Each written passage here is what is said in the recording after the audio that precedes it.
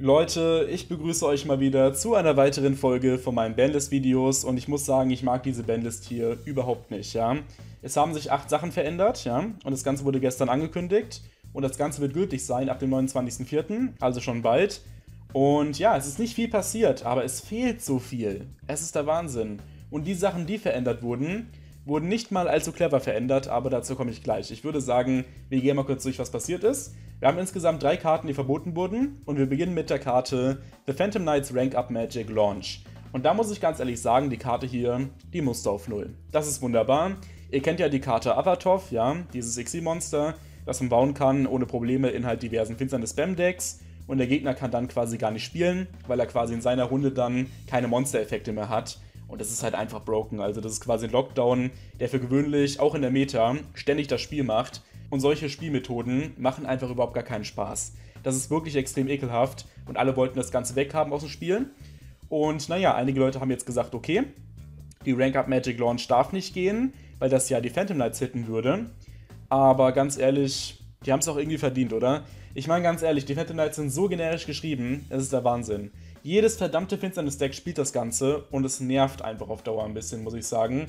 Und ich finde, da hätte man echt ein bisschen mehr machen sollen, fast schon. Weil es einfach extrem ankotzt. Gerade die Badische, die kommen immer wieder raus. Mittlerweile in fast jedem Deck, existiert. Und nur den Launch zu hitten, ist mir fast schon zu wenig. Aber ich bin schon mal froh, dass diese Karte weg ist. Klar, man hätte auch Azatov hitten können, aber es werden neue Probleme kommen, ne? Ich sag einfach nur so, die Rank Up Magic Launch ist zu Recht auf der Bandlist, ja? Das kann ich vollkommen so hinnehmen. Finde ich persönlich den besten Hit auf der Bandlist, aber es geht noch weiter. Wir machen nämlich weiter jetzt mit der Karte Dark Matter Dragon der auch verboten wurde tatsächlich. Und da muss ich auch sagen, guter Hit, ja. Die Karte ist wirklich nicht clever geschrieben. Man kann damit quasi sofort drei Drachen millen und damit einfach etliche Kombos enablen, beziehungsweise das Ganze einfach auch generisch beschwören. Denn es ist mal wieder generisch rufbar, indem man einfach durch zwei Achter ein Galaxy Ice Monster ruft und dann quasi diese Karte mehr oder weniger drauflegt und das war es dann quasi auch schon. Schon kannst du drei Drachen millen. Und da kannst du beispielsweise einfach das Amorphage-Monster millen, das einfach sagt, okay, wenn du mich beschwörst, kann der Gegner nichts mehr specialen. Und das ist halt einfach mal wieder ein Insta-Win, genau. Und du kannst auch eine Karte gleichzeitig millen, die den Amorphage quasi in der Runde des Gegners wiederbelebt. Und schon ist das Problem geboren. Und ja, die Karte wurde abused, keine Frage. Es gibt auch einige Möglichkeiten, die Karte zu abusen mit einfach, naja, Thunder Dragon, das geht bereits. Oder auch mit Guard Dragons und so. Es gibt da viele Varianten. Und die Karte ist eigentlich schon seit einer Ewigkeit ein Problem. Als die Karte damals rauskam, wurden sogar die Dragon Ruler für kurze Zeit OP. Damals, ne? Und die waren da, glaube ich, noch auf 1. Das war eine sehr komische Zeit. Und die wurden broken nur wegen der einen Karte hier. Man merkt einfach, die ist dumm geschrieben, ja. Man merkt immer wieder, dass diese ganzen Foolish-Karten, also Karten, die quasi Karten vom Deck auf den Friedhof legen können, gezielt, dass die einfach unfair werden. Wir haben Foolish Burial auf 1, ja. Wir haben Lavaval Chain bereits verboten bekommen, aber Geddon Ritter ist auf der Schwelle zum Verbot. Dark Greffer ist auch auf 1 gegangen. Diese ganzen Karten, Mathematika war auch immer wieder ein Problem. Das sind einfach keine gesunden Karten für Spiel. Und ein dreifacher Mill auf Drachen ist einfach auch nicht balanced. Von daher kann ich das auch so unterschreiben. Eigentlich eine gute Neuerung. Aber jetzt kommen wir zu der wichtigsten Neuerung auf jeden Fall mit gigantischem Abstand. Und zwar bekommen wir die Summon Sorceress auf 0. Und das finde ich komisch, muss ich sagen. Also ich finde, dass Summon Sorceress schon sehr, sehr gut ist. Keine Frage, ja. In den Decks, wo die Karte gespielt wird, war sie mit einer der besten Karten. Aber sie war nicht broken. Sie war an sich nicht broken. Es gab ganz andere Probleme. Beispielsweise die Danger Engine, ja, die wirklich sehr viele Spieler abgrundtief verabscheuen, weil die komplett broken geschrieben sind, ja. Diese Danger-Karten sind nicht so gesund fürs Spiel, wie es sich zunächst mal anhört. Kann man echt schon so sagen, wie ich finde. Dann haben wir, wie gesagt, halt diese ganzen Phantom Knight Karten. Auch sehr grenzwertig, kann man sehr gut spammen. Dann haben wir diesen ganzen Dark Warrior Spam. Nichts hat man getan gegen diese ganzen Sachen. Aber dann hittet man Summon Sorceress. Das finde ich sehr, sehr weird, muss ich sagen. Und es hittet einfach sehr, sehr viele Decks. Ich meine, dass die Karte auf 0 gehen muss, wenn wir irgendwann Needlefiber bekommen, das ist ein offenes Geheimnis, ja? Und ich habe jetzt auch so ein bisschen Angst, dass jetzt bald Needlefiber angekündigt werden könnte fürs TCG, wenn die Karte jetzt auf 0 ist, weil das wäre schon möglich. Im OCG war es nämlich auch quasi so. Und ja, die beiden Karten dürfen auf gar keinen Fall gleichzeitig im TCG existieren. Das wäre komplett die Eskalation, da wäre das Spiel am Rande des Zusammenbruchs. Das wäre wirklich nicht gut.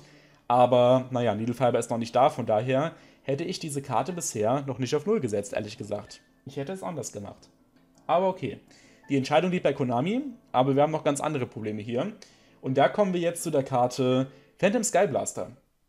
Ich muss sagen, diesen Hit hier verstehe ich überhaupt nicht. Das Ding ist einfach, Phantom Skyblaster ist natürlich unfair, ne? Weil du kannst damit Tokens generieren.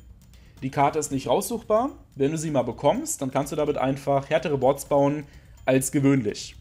Und das sorgt dafür, dass diese Karte auf 1 ein reiner RNG-Faktor ist, der dein Deck manchmal unfassbar stark macht. Und warum willst du so eine Karte bitte auf 1? In einem kompetitiven Kartenspiel? Könnt ihr mir das bitte mal verraten, Konami? Ich verstehe es nicht so ganz.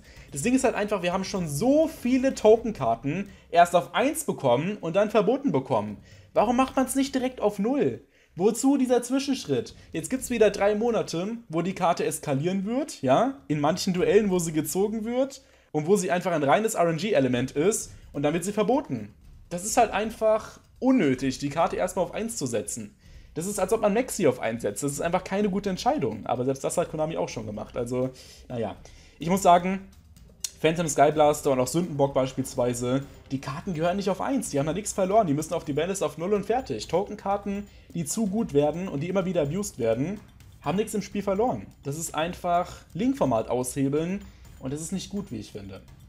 So, aber dann kommen wir zu der Karte Lady Debug. Eine sehr interessante Karte auf jeden Fall. Für zwei verschiedene Decks und zwar zunächst mal für Cyber Spamhaufen, aber natürlich noch viel wichtiger, auch für Salaman Great. Und diese Karte wurde halt immer gespielt in Salaman Great. Und einige Leute würden jetzt sagen, okay, das ist schon ein heftiger Hit, aber ich muss sagen, so sehr tut es dem Deck, glaube ich, gar nicht weh. Also ich muss sagen, ich meine, die verlieren zwei Kopien von dieser Karte hier, die haben ganz andere Möglichkeiten. Also ich denke nicht, dass Lady Debug auf 1 das Deck irgendwie krass hitten wird. Es ist auf jeden Fall ein Nerf, keine Frage. Aber das ist jetzt nicht so krass, wie die zunächst mal anhört. Von daher bleibt gechillt. Wenn ihr Salamandwelt spielt, macht einfach weiter. Das wird schon. Also das Deck wird nach wie vor relevant bleiben. Was aber auf jeden Fall sehr stark wehtut, ist die Karte Kargari auf 1. Habe ich ja auch schon predicted gehabt vor einer Weile, beziehungsweise ich wollte eher Engage auf 1 haben, weil Kagari auf 1 schon schon happig ist. Tut auf jeden Fall weh. Aber okay, es ist so gekommen. Und auch das war natürlich möglich. Multiroll auf 1 wäre auch noch gegangen, quasi beides, hätte man sich auch vorstellen können. Aber ich denke, das hier ist schon, ja, hart genug. Also, ich glaube, dass dieses Deck auf jeden Fall jetzt auch gerade in den späteren Spielzügen extreme Probleme kriegen wird. Und vielleicht ist es gar nicht mehr so krass Meta, wie es bis vor kurzem noch war. Möglich wäre es, wir sind gespannt. Kagari auf 1 ist auf jeden Fall schmerzhaft, keine Frage. Sehr wichtige Karte und ja, ich bin gespannt, wie sich das Deck entwickeln wird. Dann ist eine weitere Karte auf 2 gegangen und zwar die Karte Super Poly. Das ist so eine weitere Änderung, die ich nicht verstehe. Warum geht die Karte auf 2? Die dreht halt einfach manchmal Spiele, sie ist nicht raussuchbar, sie bricht Boards und sie war eigentlich ziemlich solide auf 1 aufgehoben. Klar, man kann die Karte auf 3 setzen. Das ist kein Beinbruch an sich, aber tut es dem Spiel wirklich gut? Ist das so? Ich weiß nicht. Also ich muss sagen, Super Poly auf 1 fand ich eigentlich ein bisschen besser. Also eine richtig geile Neuerung ist das nicht. Aber es ist zumindest keine ultra schlechte. Man kann darüber diskutieren, dass es clever ist. Aber dann kommen wir zu der Karte Verschidosaurier. Und Verschidosaurier ist so eine Sache. Das Ding ist, Dinos sind auf jeden Fall sehr, sehr stark bis heute. Extrem gutes Rogue-Deck. Viel OTK-Potenzial dank Super Terreno und gute Boards sind möglich und so weiter. Viele schöne Sachen. Und Verschidosaurier war auf 1 imitiert und schützt quasi euer Board. Und diese Karte ist halt schon ein gewisses Risiko. Also wenn die Karte auf 3 geht, dann kann man sich vorstellen, dass die Dinos mal wieder häufiger toppen können. Auf jeden Fall, das ist möglich. Und ich verstehe halt absolut nicht, warum man diese Karte sofort auf 3 pumpt. Es ist halt einfach, als ob Konami direkt die Lernkurve wieder abgebrochen hätte. Wisst ihr, Konami setzt jedes Mal, wenn eine Karte auch nur ansatzweise gefährlich sein könnte, eine Karte immer erst von 1 auf 2 und dann auf 3. Und das ist wunderbar. Das ist eine so gute Entscheidung, einfach um das Spiel gezielt zu balancen und vorsichtig mit der Bandlist umzugehen. Warum wirft man das jetzt über den Haufen? Macht das irgendeinen Sinn? Ich muss sagen, ich suche den Sinn schon seit gestern hierin und ich verstehe es nicht. Es ist wirklich etwas merkwürdig. Das ist mal wieder kein Buff, der jetzt unfassbar krass die Meta verändern wird aber es ist einfach unvorsichtig. Und wenn man das jetzt kombiniert mit den ganzen Änderungen, die ich sowieso schon sehr komisch finde, ist das einfach absolut keine gute Bandlist. Also sorry. Ich weiß nicht, was man hieran absolut gut finden kann. Wie gesagt, diese beiden Karten hier finde ich sehr gut. Das ist vollkommen in Ordnung. Summon Sorceress ist einfach weird zum jetzigen Zeitpunkt, weil andere Probleme da sind, wie ich finde. Kagari ist schon hart, aber kann man machen, ist an sich in Ordnung. Lady Debug vielleicht schon fast ein bisschen zu weich, könnte man fast schon sagen. Ähm, Skyblaster, verstehe ich nicht, warum man die Karte auf 1 macht. Das hier finde ich bedenklich und das hier finde ich unvorsichtig. Also man merkt schon, da häufen sich die komischen Entscheidungen. Und ich habe jetzt noch nicht mal angefangen, darüber zu reden, was hier einfach fehlt. Ich meine ganz im Ernst, es fehlen so viele Karten auf dieser Bandlist hier. Ein ganz großer Name, den fast jeder predicted hat, ist Saruja. Wie kann es sein, dass Saruja immer noch auf 3 ist? Das ist halt wirklich, als ob Konami das Spiel in den letzten Monaten nicht gespielt hätte. Was ist das denn? Wir haben jeden Danger mittlerweile noch auf 3 und Saruja auf 3. Der Spam ist real und er wird noch Monate weitergehen. Das ist halt einfach echt keine gute Bandlist, wie ich finde. Es fehlt eine ganze Menge. Nessie auf 1 hätte kommen müssen. Man hätte Jackalope auf 1 setzen können. Vielleicht sogar noch die Schlange. Also Danger hätte auf jeden Fall Hits bekommen müssen. Das ist natürlich ein No-Brainer. Dann haben wir auf jeden Fall so Karten wie halt Saruja. Saruja hätte nicht auf 0 gehen müssen. Auf keinen Fall, das ist zu hart. Aber Saruja ist eine Karte, die muss auf 1. Die zieht halt 4 Karten ohne Once per Turn. Das ist halt nicht clever geschrieben. Also, naja, das Ganze ist halt Once per Copy quasi. Du kannst die Karte einmal zweimal beschwören und dann im Laufe des Zuges quasi 8 Karten ziehen. Klar, muss 6 Karten zurücklegen, aber das geht dir am Arsch vorbei. Du hast deine Hand so krass verbessert und kriegst noch eine Special Summon. Die Karte ist broken auf 3, wie ich finde. Und dann hast du halt andere Sachen, wie beispielsweise so Karten wie Scapegoat. Wie kann es sein, dass Scapegoat immer noch auf 1 ist? So Karten gehören genauso wie Skyblaster in meinen Augen sofort auf Null. Schon vor Monaten. Fast schon vor Jahren, ja. Das zieht sich jetzt schon seit Ewigkeit, dass Scapegoat langsam auf 1 gegangen ist. Aber wo bleibt bitte die Null? Das fehlt einfach. Die Karte muss raus aus dem Spiel.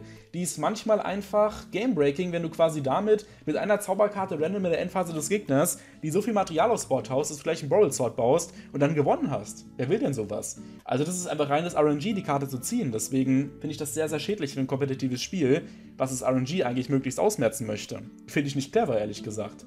Und dann haben wir diverse Karten, die einfach auf der Bandlist überhaupt nichts verloren haben. Wo ist Stämme infizierender Virus? Wo ist Book of Moon? Wo sind die ganzen Karten, die auf der Bandlist schon seit Jahren nichts verloren haben? Das ist halt einfach so unfertig, diese Liste. Das kann man so nicht stehen lassen, fast schon. Also, ich finde, das hier ist eine sehr, sehr merkwürdige Liste und ich verstehe sie von vorne bis hinten nicht. Wie gesagt, die drei Neuerungen hier kann ich gut nachvollziehen. Ansonsten ist alles zumindest nicht perfekt. Irgendwie. Zumindest nach meinem Gefühl. Und es fehlt halt einfach viel zu viel. Eure Meinung dazu könnt ihr mir gerne mal in die Kommentare schreiben. Ich muss sagen, Konami hat ja vor einer Weile ein Statement rausgehauen, ein Pressestatement, wo sie gesagt haben, okay, das Spiel ist aktuell so, wie wir es wollen. Wir wollen es nicht krass verändern.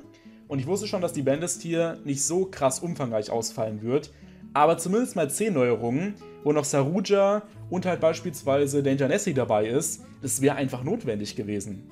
Aber so wenig zu machen, finde ich einfach fraglich, weil es sind halt schon Probleme da, ne? Also, da kann man sich auch nicht vor verschließen, wie ich finde. Also, das ist ja allseits bekannt mittlerweile, dass so Karten wie die Danger-Karten einfach grenzwertig sind. Und wenn irgendwie 30 Yugi-Tuber international gesehen unabhängig voneinander sagen, dass die Karten auf 1 gehen müssen, auch die, die ständig auf Turnieren sind, dann hat das eine gewisse Aussagekraft. Und wenn die Community dann noch mitzieht, ja, und die ganzen Zuschauer sich das wünschen, warum hört Konami nicht darauf? Das finde ich halt ein bisschen schade, dass quasi so wenig auf die Community gehört wird. Das bin nicht nur ich, der das sagt, ja, das sind tausende weitere, zehntausende weitere Spieler, die mir da zustimmen werden. Ist halt einfach seltsam. Aber okay, ich würde sagen, ich habe genug darüber abgerantet. Ich bin absolut nicht zufrieden.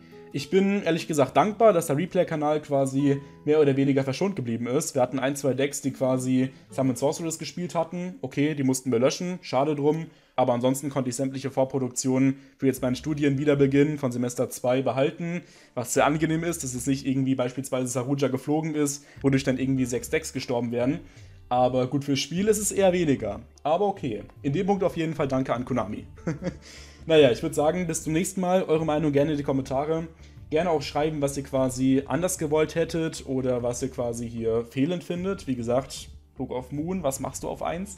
Aber okay, das ist ein anderes Thema. Oder auch hier äh, Solemn Warning, was macht die noch auf 1? Oder haut doch zumindest Solemn Strike auch auf 1. Ist doch komisch, dass die unterschiedlich sind schon seit Jahren.